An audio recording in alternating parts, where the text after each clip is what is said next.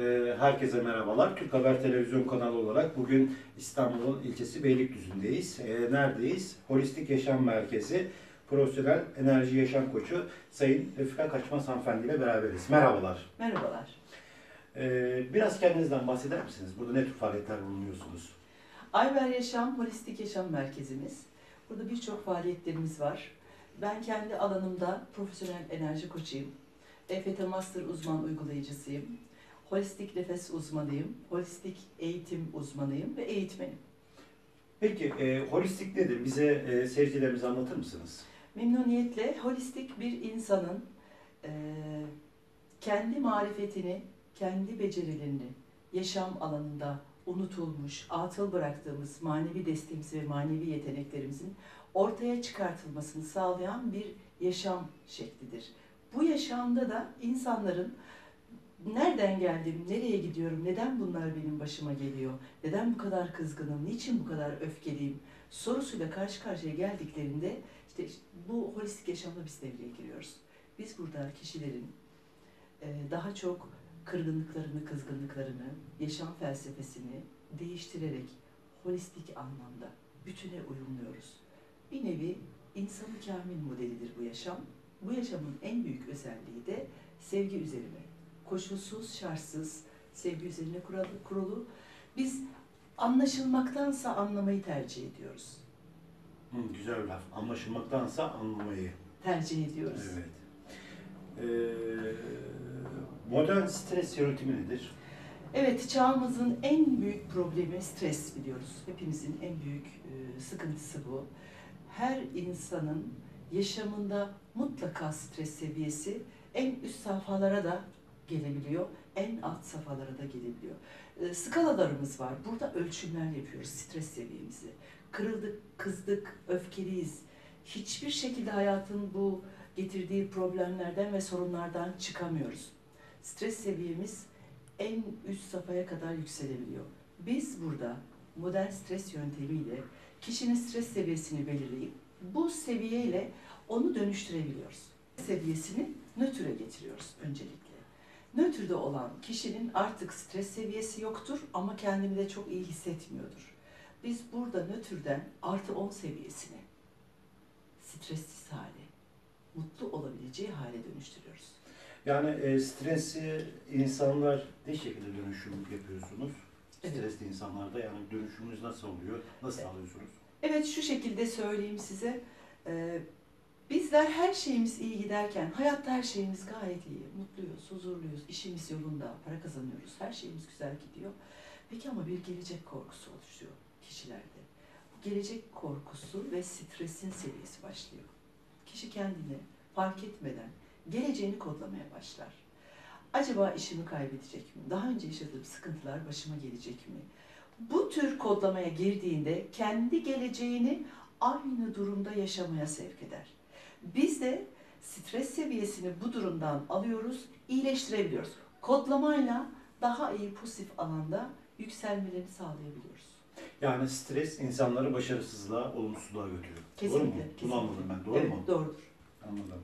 Peki modern stres yönetiminde geleceğe dönük e, çalışmalarınız, faaliyetleriniz insanlar üzerinde nelerdir? Ha, neler yapıyorsunuz? Çok güzel şeyler yapıyoruz. Sadece bir örnek vermek istiyorum. Daha iyi anlatabilmek adına. Hı hı. Ee, biz modern stres yönetiminde illaki stresi çok yüksek olan insanları almıyoruz. Her şeyi gayet iyi giden, dönüştürmesini de bilen insanlarla da çalışıyoruz. Bu çalışmalarda geleceği kodlayarak iyileştirme yoluna versiyonlarımız var. Her düşüncemizde bir versiyon oluşuyor. Bu versiyonları biz iyileştiriyoruz. Yani düşünce formatınızda belirlediğiniz alanınızı iyileştirmeye, sizi yükseltmeye taşıyoruz bunlarla. Modern stresin en güzel tarafı dönüştürüp yeni güzel kodlarla geleceğimizi istediğimiz hale getirebiliyoruz. Yani e, bir bakıma e, insanlara format atıyorsunuz, yeni bir program Aynen, yapıyorsunuz. evet, Doğru mu? çok doğru. Bilgisayarda. Çok güzel. Peki EFT, EFT Master nedir? Ne demektir? Harika bir yöntem. Nedir? Açıklar mısınız? Tabii ki EFT duygu dönüştürücü, ruhsal dönüştürücü teknikli bir çalışmadır. Tapinklerimiz var, özel tapinklerimiz, vuruşlarımız var. Bu yöntemde kişinin kişi yine en alt stres seviyesinden alıyoruz. Her şeyini kaybetmiş, işini kaybetmiş, eşini kaybetmiş. Biliyorsunuz günümüzde hepimizin acısı da olabiliyor. Ee, yakınlarımızı ölümle kaybedebiliyoruz. Bunun içine düştüğü durumda stres seviyesi çok yüksek oluyor. İşte EFT Master e, programımız burada devreye giriyor. Kişileri geriye dönük yaşadıkları stres seviyelerindeki o anlara tekrar gidiyoruz. Orada dönüştürüyoruz. Geriye dönüş olduğunda artık takıldığı, üzüldüğü, bu rüyalar da dahil olabiliyor. Orada dönüştürüldükten sonra bir daha o problemle asla karşılaşmıyor. Peki, e, seyircilerimizden gelen sorular var. Biz onları da size soruyoruz. E, şimdi insan hayatında gelecekle ilgili bir çalışmanız var mı? Nelerdir yani? İnsanın geleceğiyle ilgili e, ne tür çalışmalar burada yapıyorsunuz? Evet. Yine stres yöntemiyle anlatacağım size. Hı hı. Her insan farkında olmadan kendi geleceğini şimdiki anda kurgular, hazırlar ve gelecekte bunu yaşar. Bu eğer olumluysa istikrarlı ve güvenli çok daha çabuk olur. Olumsuzsa aynı şekilde olumsuz tablosunu, gelecekteki yaşantısını şu anki stres seviyesinde bitirir.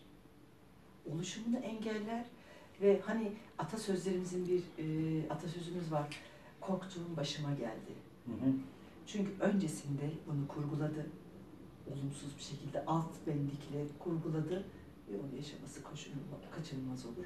Biz de burada o kişileri geleceklerini hazırlamak, Pozitif düşün. pozitif artı kodlayarak, geçmişteki blokajlar dönüştürülmeden asla ve asla pozitif düşünce yeterli değil.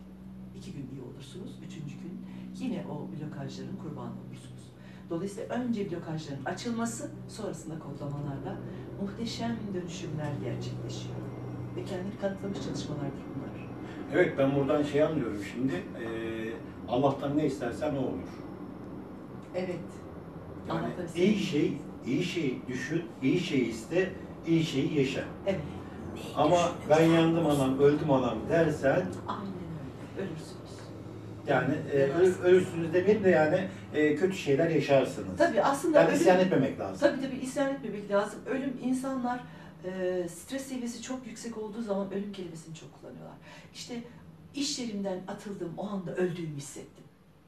O zaman insanlar güne mutlu mu başlamalı? Müzik ruhun gıdasıdır diyorlar. Kesinlikle aynada başlamalı güne.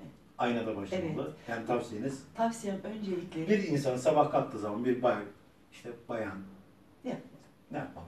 Harika bir şey. Gözünü açtığı zaman her insan bunu uygulasın. Hı hı, Öncelikle yüce yaradana şükürle kalkmalı. Tekrar gözümüzü açtık, nefes alabiliyoruz. Hamdolsun deyip banyoda elimizi yüzümüzü yıkamaya gidiyoruz. Aynada şöyle bir bakması lazım kendisine.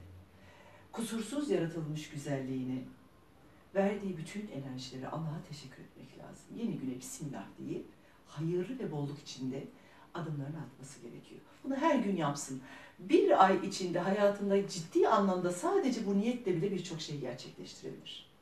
Peki e, çok duyuyoruz mesela sanat dünyasında, magazinde, işte ne bileyim spor dünyasında koç kelimesi çok geçiyor da tabii ben bu spor anlamındaki koçluktan bahsetmiyorum. İşte yaşam koçluğu deniliyor. Buradaki koç kelimesi açıklar mısınız?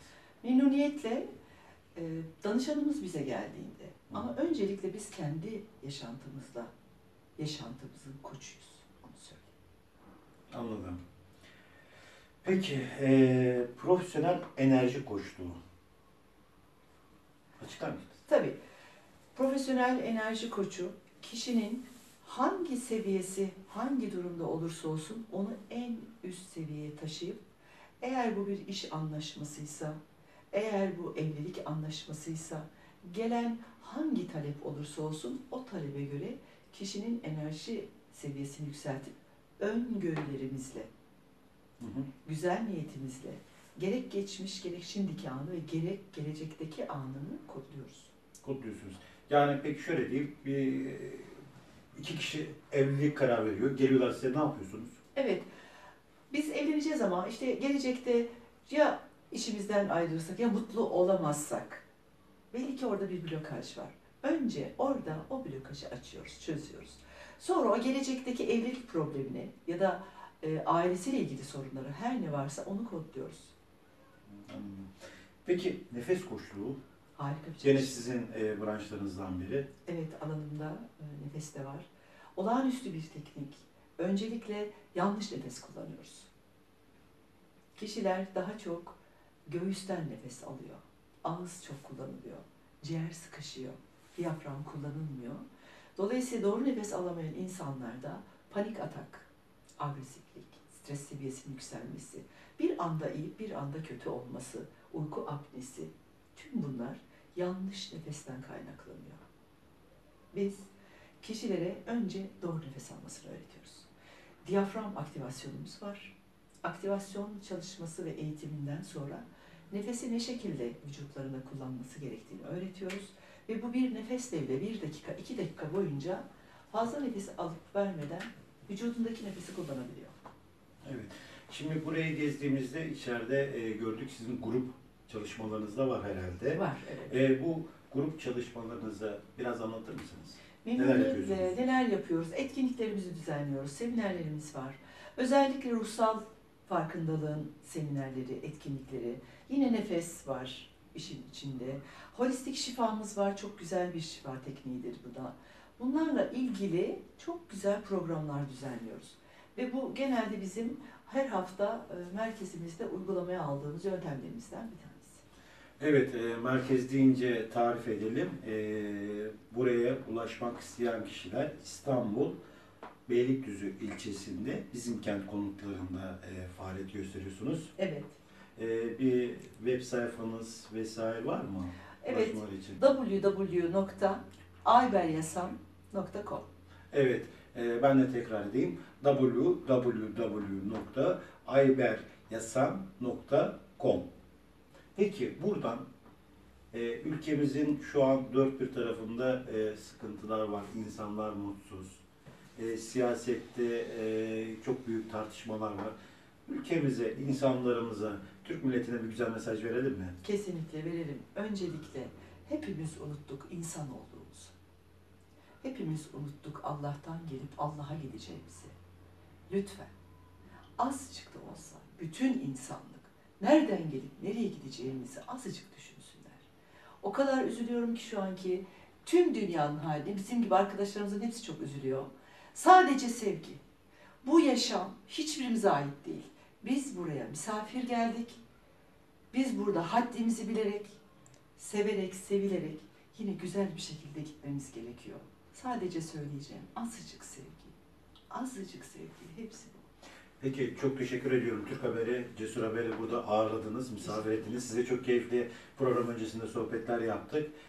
Evet, e, burada da programımızın sonuna geldik. E, çok güzel bilgiler aldık. Teşekkür ediyoruz Ben size. teşekkür. E, sayın seyircilerimiz yakında e, haftanın belli günleri e, burada programlarımız olacak.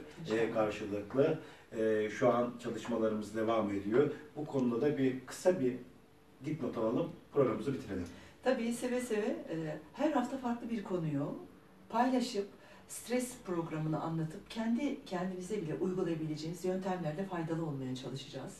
Stres seviyelerimize sahip olup hayatımızı birazcık olsun güzelleştirmeye gayret edeceğiz. Her programda az da olsa biraz nefesten bilgiler, biraz teknik bilgiler ve eğitimler canlı olarak sunacağız size ve daha bizden çok güzel şeyler gelecek sürpriz. Peki, e, sloganımla kapatıyorum. E, Cesur Haber her an her yerde karşınıza çıkabilir. Bizi izlemeye devam ediniz.